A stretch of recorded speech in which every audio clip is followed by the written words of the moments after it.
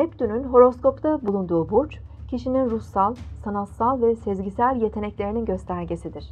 Genellikle Neptün bulunduğu burcun özelliklerini idealize etmeye eğilimlidir. Bu burcun özelliklerini, kalıplarını ve sınırlamalarını çözüp aşarak gelişim gösterebiliriz. Neptün horoskopta Oğlak burcundaysa bu yerleşim toplumdaki kanunları, kuralları, politikaları, otorite, iş ve kariyer dünyasındaki yapıları dağıtıp çözebilir. Bu kişiler güçlü bir aile ve otorite baskısı altında yetişmiş olabilirler. Sorumluluk duyguları vardır ve disiplinlidirler. Geleneksel ve tutucu olabilirler.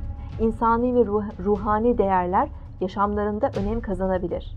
Sezgisel yaratıcılıklarını, duygularını pratiğe dökmeye çalışırlar. Neptün, kişisellikten daha çok nesilleri etkileyen bir gezegen olduğu için aynı yaş grubundaki kişilerde de benzer etkiler ortaya çıkarabilir.